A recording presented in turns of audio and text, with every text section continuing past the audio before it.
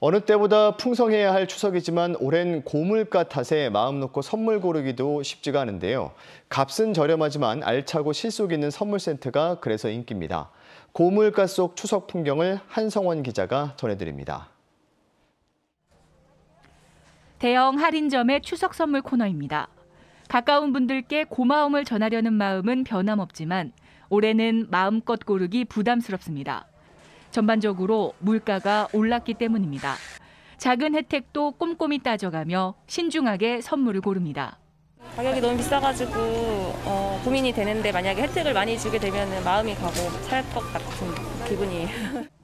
이 대형 할인점의 경우 사전 예약으로 선물을 사면 물건 값의 10%를 상품권으로 돌려줬는데 올해 매출이 36%나 늘었습니다.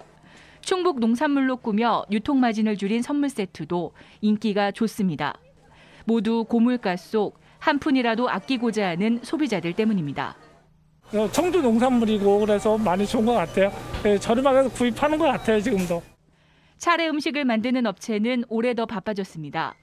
올해 추석 차례상 차림비는 4인 가족 기준 평균 31만 8천 원, 지난해보다 6.8% 오른 것으로 조사됐습니다.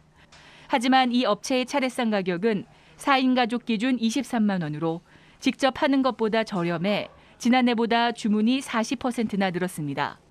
재료 구입비는 20% 늘었지만 힘들어진 경기를 감안해 가격을 올리지 않은 덕분입니다.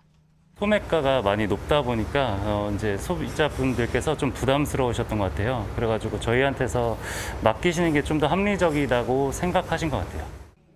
1년 중 가장 풍성하다는 추석. 하지만 올해는 고물가 속에 조금이라도 아끼고 실속을 챙기는 합리적인 소비가 늘고 있습니다. KBS 뉴스 한성원입니다.